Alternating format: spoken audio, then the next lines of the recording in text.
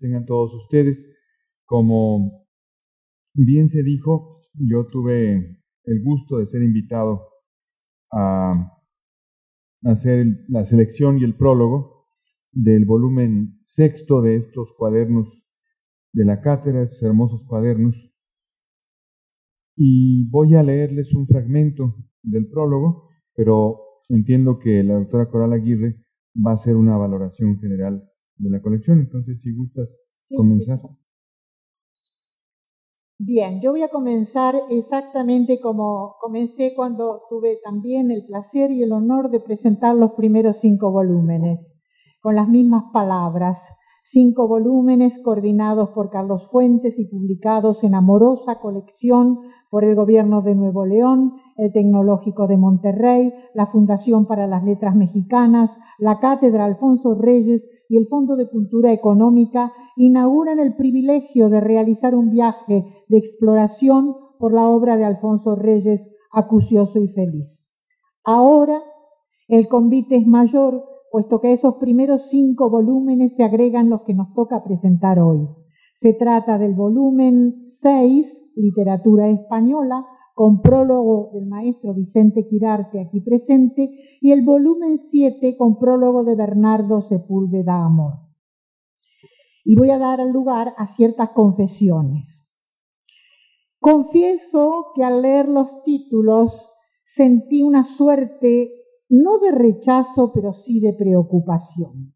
Los primeros cinco habían sido tan felices, serían renovados por esta nueva entrega cuya propuesta se manifestaba más particularizada y por lo tanto para el lector común demasiado específica.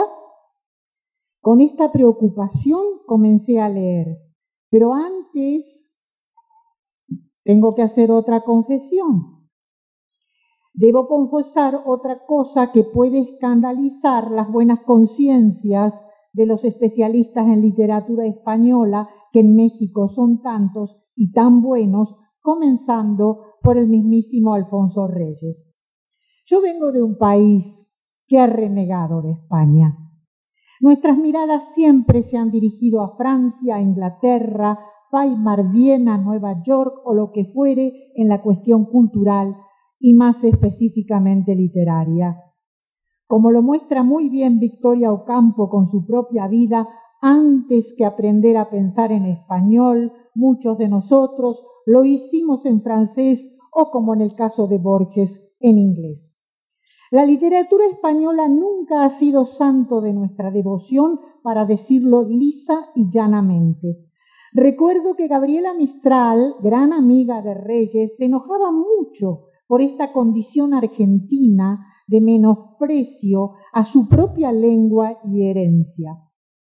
Por mi parte, no estoy exenta de tales reproches que oficiaran algunas algunas veces juntos la Mistral y Reyes, de modo que valga toda esta larga introducción para agregar a mi inquietud primera las propias preferencias. Literatura española y cómo iba yo a viajar por un libro que en el fondo me interesaba bien poco. El prólogo debiera haberme llenado de esperanzas, pero escéptica como soy, me dije que el maestro Quirarte pudiera haber exagerado. Aquí quiero hacer una pequeña acotación.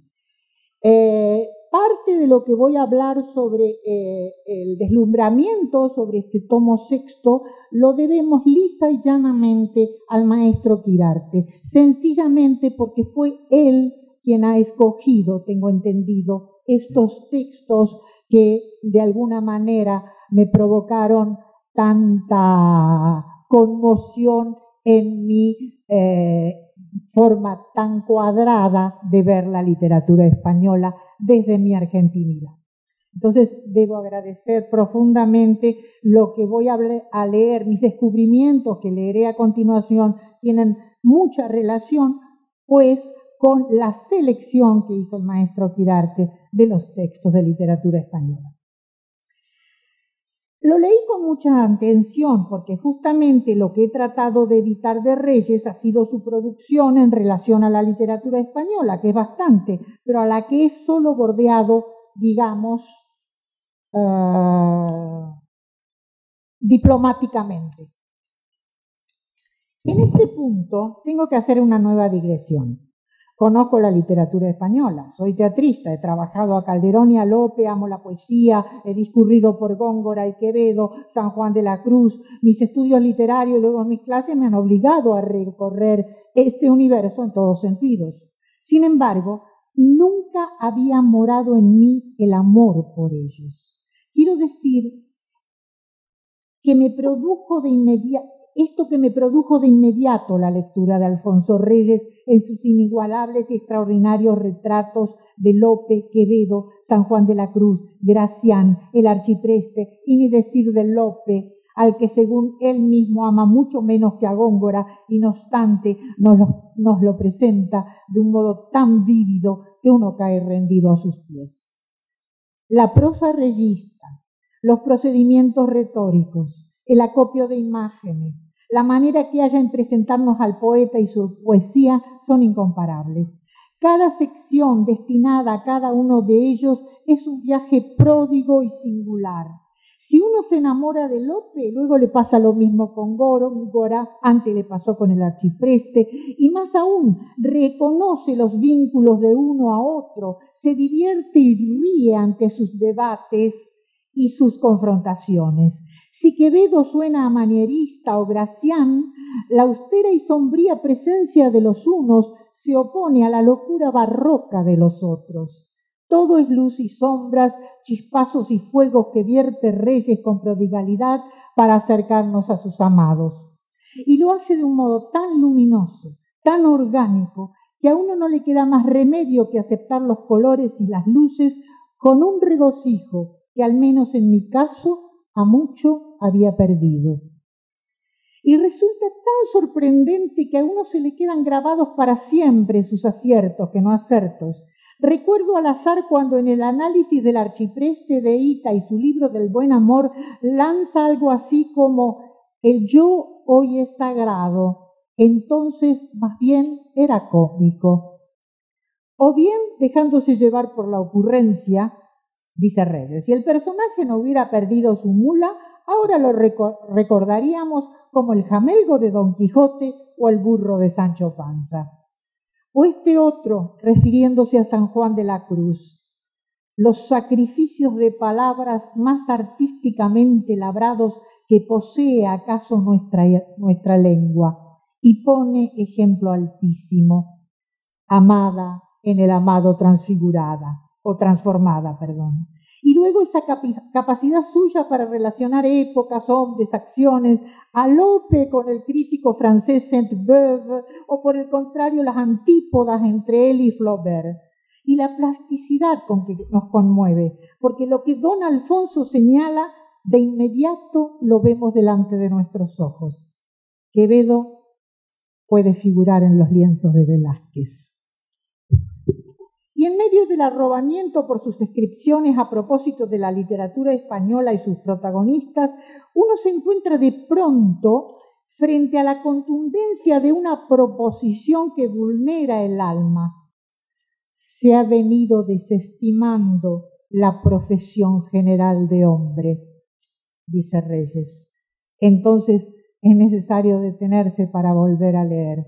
Se ha venido desestimando la profesión general de hombre, que sin duda tenían estos con los que ensaya. Dejo para concluir el comentario de este volumen, del, sexto, sus disquisiciones a propósito de nuestro idioma y su amorosa labor pedagógica con que se cierra ejercicios de historia literaria española.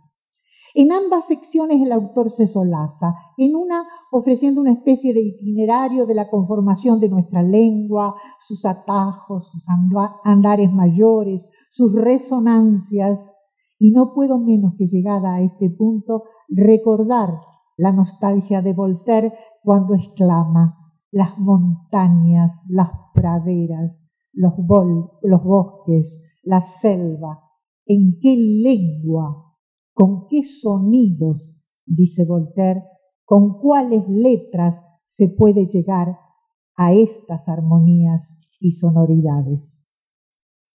En cuanto a los ejercicios que cierran el volumen, el plan que Reyes ofrece al estudiante lleva toda la devoción de la que es capaz para poder soñar con nuestras propias incursiones, para que, enamorados, seamos capaces de la exploración que requiere nuestro acervo literario.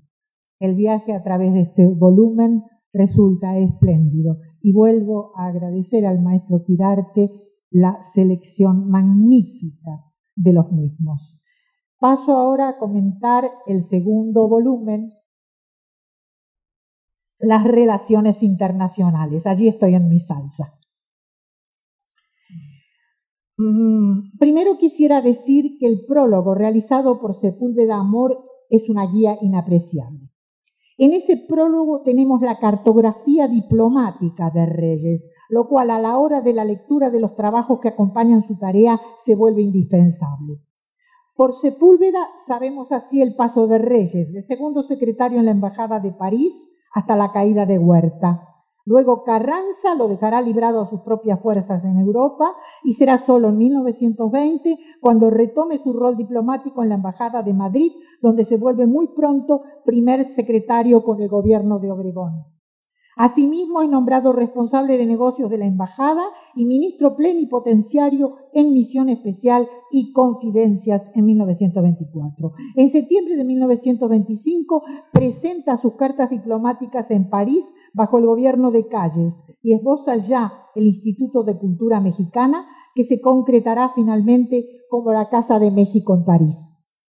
En 1927 es llamado a inaugurar y responsabilizarse de la primera embajada mexicana en Argentina, antes había sido siempre una legación.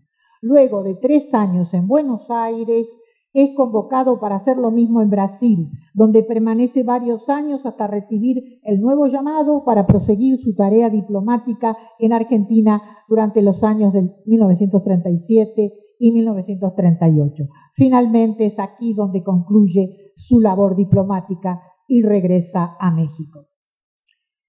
Cabe destacar que durante su estadía en el Cono Sur participó en la elaboración del Código de Paz, quizá uno de los documentos más importantes de la década de los 30 y que fue esbozado en 1933 en Montevideo en la séptima Conferencia Internacional Americana convocada a raíz de los problemas sociales, económicos y políticos del Nuevo Mundo. En esta ocasión y gracias a México, y a pesar de la confrontación que sostuviera con Argentina, se logra sancionar la no intervención de los estados en los asuntos internos de otro. Y el código Paz ya abunda en lo que importaba más, no a la agresión por la fuerza de las armas, cualquiera fueran las razones políticas. En esa, es en esa ocasión asimismo donde Reyes hace un discurso entrañable a propósito de la guerra que están sosteniendo Bolivia y Paraguay, así como la misma conferencia eh, impulsada por la legación de México logra detenerla, dicha guerra, en los días de su realización. En 1936, en la Conferencia Interamericana de Consolidación de la Paz convocada en Buenos Aires y a expresa acentuación de Alfonso Reyes en un documento de su autoría, se proponen medidas para promover el fomento de las relaciones intelectuales y culturales más estrechas entre las repúblicas americanas y se agrega otro documento sobre Hispanoamérica para la consolidación de la paz. Aquí el Código de Paz mexicano ya está totalmente eh, eh, sancionado, ¿no? ya está totalmente terminado. La delegación mexicana, bajo el gobierno de Lázaro Cárdenas, alerta sobre la inclinación profachista de ciertas políticas de las cuales México se aleja ostensiblemente. Somos surcidores de voluntades consagrados a suturar roturas, amortiguar sobresaltos y crear continuidad, proclama Alfonso Reyes. Pero hay más. y lúcidamente reconoce que no se le perdona estar apartado de las vendetas del odio. Y en otro orden llega al enojo y dice, fíjense qué profético, nos va a pasar como a Cuba, mientras no derramemos por todo el mundo nuestros intereses, más dependeremos de uno solo.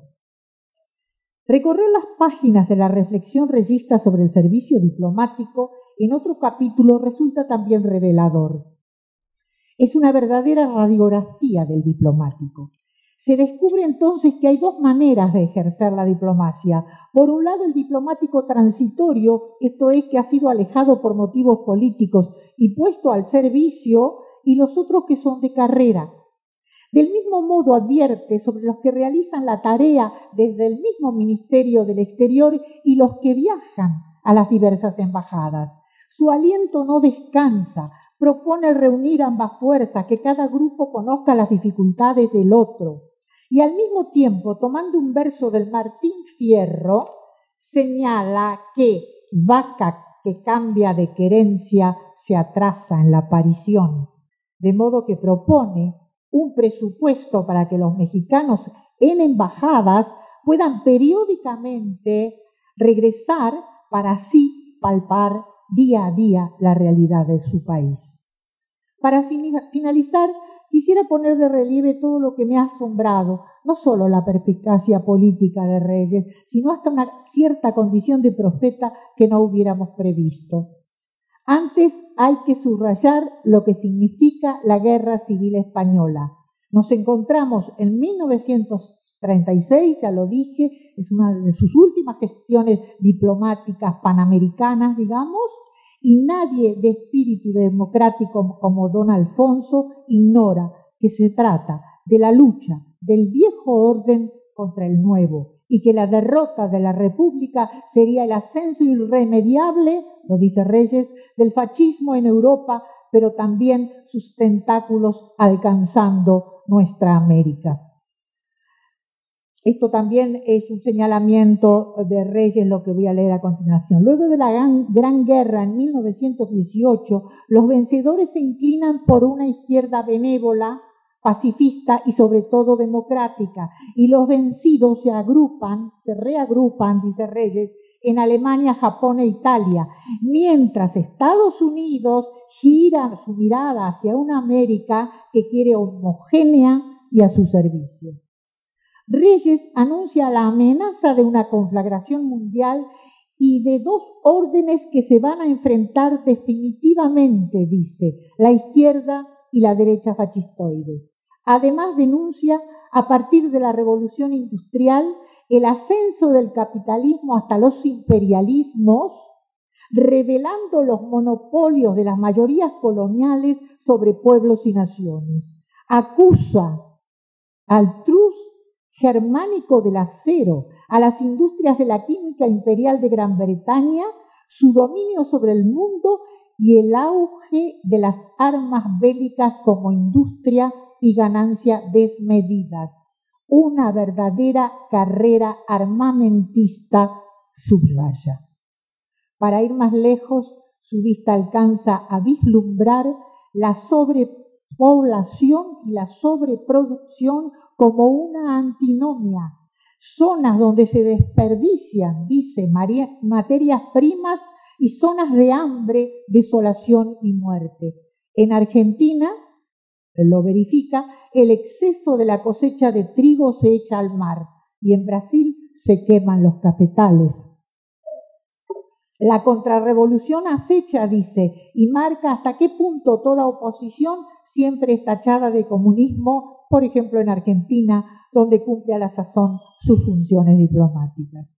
Y finalmente, puedo decir que resulta admirable la lucha que hizo México a través de estos grandes hombres de la diplomacia de la talla de Reyes en contra de la imperialista doctrina Monroe. Hasta qué punto defendió siempre la autonomía territorial y cuán peligroso resultaba para un país con 3.000 kilómetros de frontera con Estados Unidos la tan mentada doctrina que permitía la impunidad de fuerzas americanas al interior de los países latinoamericanos.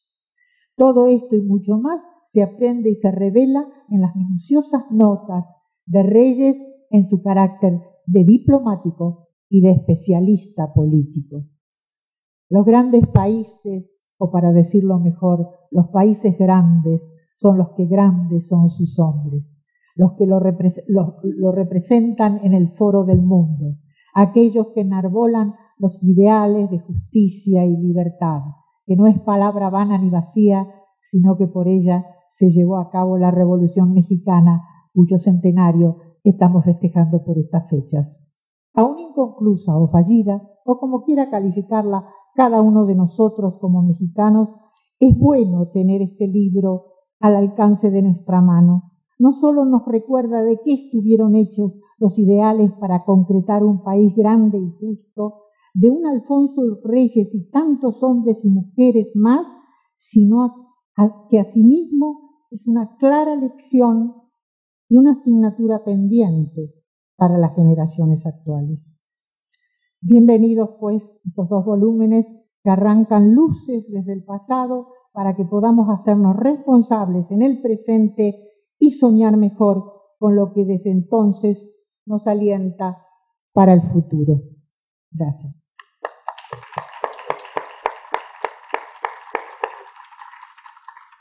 Muchas gracias a Coral Aguirre. Yo, como les decía, voy a dar lectura aparte del prólogo, pero no quiero dejar de expresar mi agradecimiento a Dora y a Laura por haberme hecho sentir desde un principio en casa, al invitarme a hacer este prólogo, y al maestro Pablo García, que está aquí con nosotros, quien tuvo a su cargo ese delicado trabajo editorial, eh, eh, tuvo siempre la gentileza de corregir mis errores, de hacerlo con toda su suavidad, su humildad, pero su sabiduría. Y también es justo mencionar al doctor Enrique Perea, gran reyista, gran conocedor de la obra de Alfonso Reyes, y quien también estuvo constantemente cuidando las referencias bibliográficas, la procedencia de los textos. Hace un momento en la entrevista que tuvimos con Radio UNAM, dijimos que estos libros, bellamente editados, con una generosa interlínea, con un diseño gráfico excelente, son agradecibles tanto por los especialistas en reyes como quien aquellos, como en aquellos que tienen la fortuna de aproximarse por primera vez a ellos. Así que bienvenidos Bienvenidos estos dos nuevos volúmenes, como ya nos dijo Coral. El año 1959, último de su fecunda y generosa existencia, Alfonso Reyes escribió un ensayo titulado Llanamente nuestra lengua. En la cima de su autoridad ética y estética, admirado por sus pares y lectores en México y el extranjero, Reyes expone con claridad y cortesía el origen, evolución y estado actual del medio que utilizamos para comunicarnos, tanto en la vida cotidiana como en la expresión artística. No obstante que se trata de un texto de divulgación, debido a que es obra del polígrafo y virtuoso que nuestro autor fue en todo momento, en él fulguran al mismo tiempo el ingenio y la armonía la originalidad y el descubrimiento. La literatura mexicana es toda aquella escrita por mexicanos, dijo varias veces quien, como parte del Ateneo de la Juventud, dedicó sus afanes a desentrañar los principios de nuestra identidad, pero también a comprender su inserción en el mundo, su diálogo con otros ámbitos y sensibilidades. Bajo el sobrio título Cuestiones estéticas, un Alfonso Reyes de apenas 22 años de edad, publica en 1911 ese su primer libro, unánime y nunca suficientemente celebrado. El volumen es un manifiesto de temas y obsesiones a los que se mantendrá leal el autor sus años posteriores. Por lo que se refiere a las letras españolas, importa destacar que este libro inicial incluye un texto acerca de la cárcel de amor de Diego de San Pedro y sobre la estética de Góngora, primero de una serie de estudios que con el transcurso de los años dedicaría al poeta que había sufrido el olvido de lectores y críticos durante varios siglos. Igualmente notable resulta que este texto de Reyes haya sido originalmente una conferencia pronunciada en 1910, es decir, 17 años antes de que los poetas de la generación del 27 celebraran el tercer centenario de la muerte de Góngora. Un joven mexicano dedicaba su sensibilidad poética, antes que ellos, y su pasmosa penetración crítica para explicarse por qué un helenista y orientalista como Pedro de Valencia lo llamaba primer poeta entre los modernos. Los textos citados sobre Diego de San Pedro y Luis de Góngora aparecen en la que el propio Reyes denominará su primera etapa mexicana, antes de su salida a Europa en agosto de 1913, es decir, cuando su vida y la de su patria cambian de manera radical. La siguiente década de la existencia del joven pero ya experimentado Reyes estará dedicada a hundir aún más sus raíces en la sensibilidad española, pues en esas tierras vive de 1914 a 1924, desde los comienzos de la guerra europea hasta los comienzos de la dictadura militar. Reyes se descubre y descubre España, pero sin olvidar su esencia mexicana. No es casual que al tiempo que su pluma escribe en tierra extranjera otra de sus obras maestras, Visión de Anáhuac, 1917, la dedique a descubrir para sí y los otros a autores y obras españoles en estudios, prólogos y ediciones dedicados a ellos. El mismo año de la obra anterior publica Cartones de Madrid, producto de su encuentro con la ciudad. Una parte suya se lanza a la calle a explorar los hábitos y los cafés, la gente y el habla española. Otra se recluye en el Centro de Estudios Históricos de Madrid, donde se afina el erudito en ciernes que Reyes fue desde sus primeros años. De tal modo, el poeta y el académico desarrollan las armas que complementan y enriquecen ambas formas de traducción del mundo. Al pisar la península ibérica, Reyes no conoció a España. La reconoció porque ya había viajado por ella a través de lecturas. Sus excursiones a Toledo o Roncesvalles se transforman en diálogos con la herencia espiritual, en visiones que el escritor había anticipado en poemas, anales o en la rica historia española. Veces hay en que la balanza se inclina por el poeta deslumbrante y deslumbrado, que a través de una prosa flexible y certera, salpicada de epigramas o de construcciones cercanas al Ramón Gómez de la Serna de las Greguerías, pinta ligeras acuarelas o elaborados aguafuertes donde están España y él en coloquio constante y amoroso. Otras en que la emoción cede su sitio a la disciplina filológica y a la demostración científica.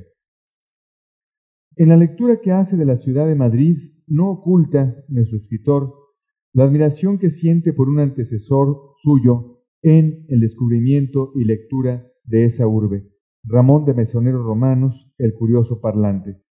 Reyes se da cuenta de que una ciudad se capta a través de los sentidos, pero también de los autores que lo han antecedido en la exploración. En su elogio y defensa del flaner, que fue mesonero romanos, del callejero profesional que tiene que ser cualquier escritor moderno que se respete, Reyes hace un retrato de sí mismo, al menos del explorador insaciable que era en ese instante de su vida. Góngora fue, para nuestro autor, una devoción y una obsesión. Muy joven, ayudó a Raymond Fulch de Volk a editar las obras poéticas de don Luis de Góngora a partir del manuscrito Chacón custodiado por la Biblioteca Nacional de Madrid, las cuales aparecieron finalmente en 1921. Si como antes se dijo, su preocupación por Góngora se había manifestado desde cuestiones estéticas, culmina en 1927 con la publicación de Cuestiones Gongorinas, Aún más adelante publicaría Polifemo sin lágrimas, en un esfuerzo por traer a la claridad al ángel de tinieblas, como varios críticos superficiales, incapaces de ver en Góngora a quien consideraban a quien consideraba, perdón, la poesía a pesar de las tinieblas clara. José Luis Martínez, amigo y gran estudioso de la obra del escritor regiomontano, publicó en 1992 el libro Guía para la Navegación de Alfonso Reyes. Con su habitual disciplina y carácter sistematizador, hace una rigurosa anatomía del Reyes ensayista y clasifica su quehacer en este género en diez divisiones.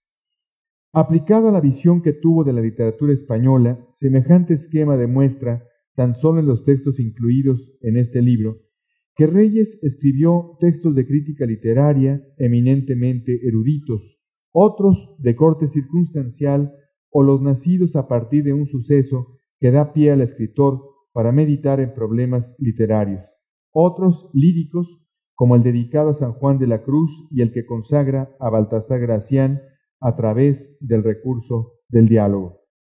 En todos los casos, Reyes quiere enseñar al lector lo que él, a su vez, ha aprendido al estar en grata compañía.